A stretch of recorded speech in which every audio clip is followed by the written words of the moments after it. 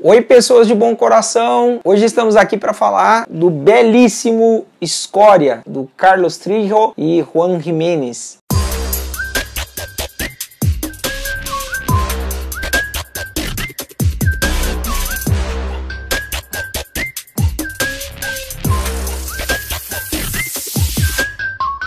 Antes de falar propriamente desse belíssimo álbum gráfico que eu tenho em mãos aqui, que é mais uma HQ que eu trago no canal, eu queria falar um pouquinho do Carlos Trilho, ou Carlos Trijo, mi espanhol é mal. Ele é um esse quadrinista que faleceu em 2011 é tido como um dos maiores roteiristas de quadrinhos da Argentina e quiçá do, do mundo. Ele começou a escrever roteiros para algumas séries já consagradas em 1975, lançou então suas primeiras histórias em parceria com o também muito famoso muito famoso, esqueci o nome, Alberto Breccia. E daí por diante, meu amigo, fez só sucesso, só sucesso, maravilhoso. E além da história muito bem escrita, muito bem construída pelo Carlos Trigo, a gente tem nessa HQ aqui uma arte assim, esplendorosa do Juan Jiménez. Quando você for ver essa história em quadrinhos, você vai ficar fascinado pela qualidade dos desenhos do Juan Jiménez e de como ele aproxima você da realidade dessa história. Eu vou daqui a pouco eu vou te contar um pouco da sinopse, mas eu já vou te adiantar que os desenhos dele te fazem sentir odores, te fazem imaginar esse mundo caótico criado nesse belíssimo livro que eu tenho em mãos. Bom, esse livro Escória foi a, é a segunda HQ que eu li esse ano e, cara, mais um acerto maravilhoso, maravilhoso. Preciso ler mais HQ. Se não fosse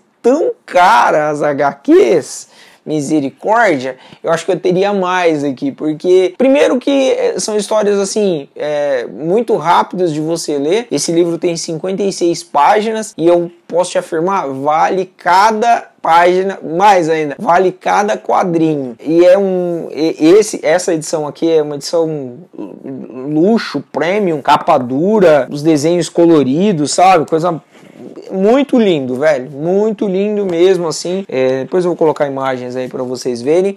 Mas muito bem construído, mesmo um exemplar maravilhoso. Escória conta a história de um mundo pós-apocalíptico em que o mundo foi devastado provavelmente por alguma arma em alguma guerra e o ar se tornou irrespirável. O mundo virou um verdadeiro aterro sanitário onde poucas pessoas sobrevivem à custa de uma adaptação porque o, o ar ele é totalmente irrespirável mesmo, e eles vivem numa espécie de lixão e sobrevivem às custas daquilo que é jogado nesse lixão. Talvez eu precise dizer que em cidades herméticas muito bem fechadas, a elite sobrevive num lugar extremamente limpo, em que eles são fanáticos por limpeza, e fora dessas cidades herméticas vive a escória, vive aqueles que são que, que não têm recursos e que sobrevivem às custas daquilo que é lançado para fora dessas cidades herméticas. Existem alguns, alguns dutos, né, uma espécie de canalização em que a, essas cidades elas jogam para fora todos os dejetos e tudo mais, e, eles sobrevivem ali procurando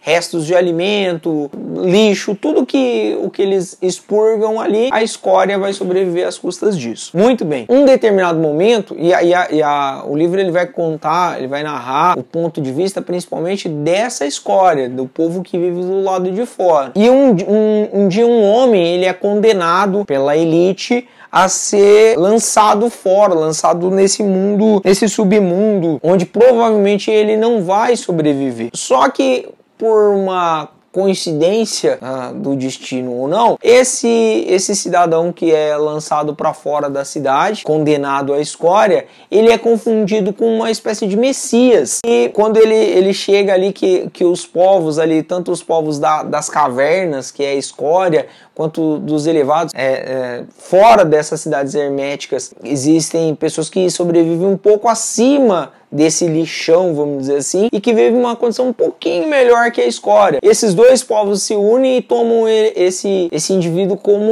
o Messias, alguém que estava profetizado que ia salvar eles daquele mundo horroroso e tudo mais. E ele aproveita dessa situação para ele se aproveita dessa situação para assumir então aquela postura, falando, então eu sou Messias. Ah, deixa então comigo. E ele organiza uma revolta desses povos contra o povo da, da Cidade Branca, que é o, o povo lá da, da principal cidade é, que existe nesse mundo pós-apocalipse. E ele vai tramar então uma estratégia para, é, quem sabe, fazer é, o jogo virar, buscando, prometendo para esse povo uma condição melhor. É, mas será que isso vai dar certo?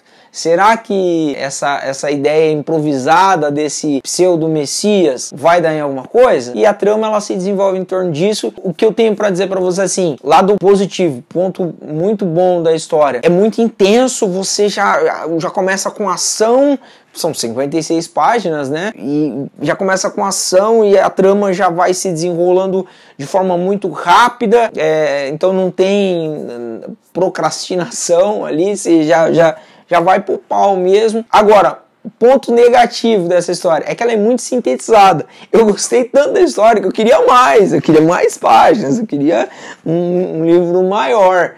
Mas a gente sabe que por questões de limitação, né, muitas vezes a história teve que ser mais curta.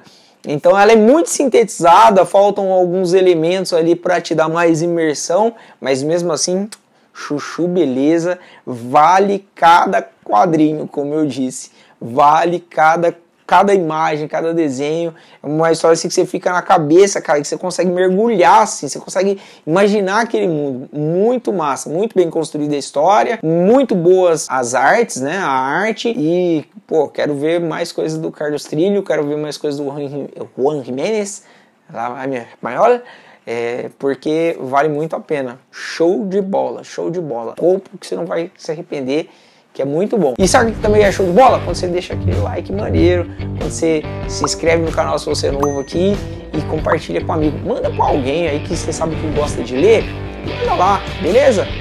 Ó, esse foi o vídeo de hoje, espero que você tenha gostado. Não deixe de ver os outros vídeos do canal.